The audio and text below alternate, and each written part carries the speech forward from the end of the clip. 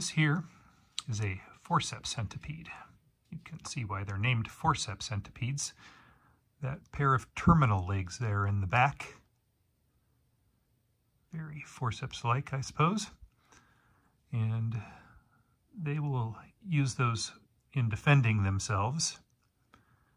Um, they're often a longer pair of legs and centipedes, that back pair of legs.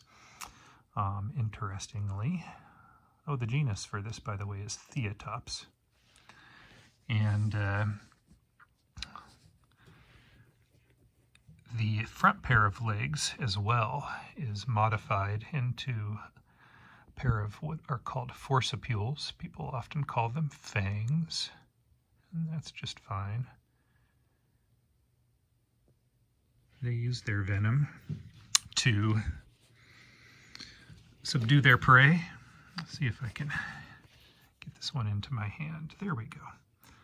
They use their venom to subdue their prey, and of course, uh, there are enzymes in there that help to break the tissues down so that they can digest them. I'm never afraid of little centipedes like this. Um, it would be quite capable of biting me if it wanted to, but I'm no threat to it. I think these are really beautiful centipedes. I love how glossy they are. Um, you can see that it is cleaning its antenna there. What a little cutie, and you got a good look there of the forcipule, that modified front leg. Um, I can actually zoom in a little bit more than this. It's a little tricky sometimes to do with one hand, but while the animal is grooming itself, it gives us an opportunity here to make some observations about how they move and what did they do. Um, sightless, I mean, at most this specimen here could detect the difference between light and dark. And it's going to be on the move here now. Always hard to get one back up on your hand, which is why I have the spoon here. A little bit of a trick to uh, keep them controlled while we make the video.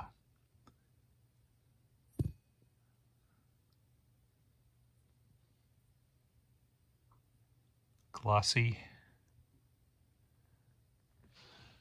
oranges and reds. Very beautiful animals. Much different, of course, than millipedes, which people often confuse them with. Centipedes have one pair of legs per segment, whereas millipedes have two. In that shot there, you can begin to see that there is just one pair of legs, one leg on each side for each segment of the body. And centipedes appear to move kind of erratically, and the reason for that is because they don't see well, and so they just sort of feel their way through life. Got lucky there in picking it up. Nope. Um, they just sort of move around, and their antennae up front there give them information about what's going on around them. And uh, it's possible that, you know, can even hear, um, they sense vibrations. They're very um, responsive to vibrations and such around them. But I think we're going to call it an end to this video here and get this animal back in its moist substrate. Um, they do get larger than this, up to about three inches. This is a smaller one from the eastern part of the country. Here we go, nice close-up shot of grooming its antenna. So many bugs keep themselves clean. They're constantly cleaning themselves.